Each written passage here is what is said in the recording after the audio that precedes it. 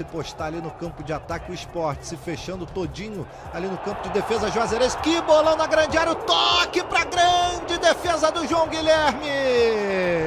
Já tirou aquele grito de U do torcedor leonino nas arquibancadas.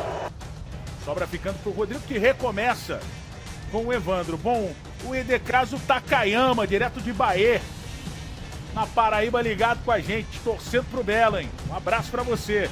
Olha a bola da entrada da área, até a batida pro gol. Um tapinha do Pedro! E ela sai pela linha de fundo, Pipico, meu irmão. Pegou a estrelinha do mar ali, quase chegou. Rosales que vai pra bola, de pé direito, João Guilherme cai no canto direito, dá um tapa e joga pela linha de fundo. Bem na jogada também o goleiro João Guilherme, olha o lance aí de novo.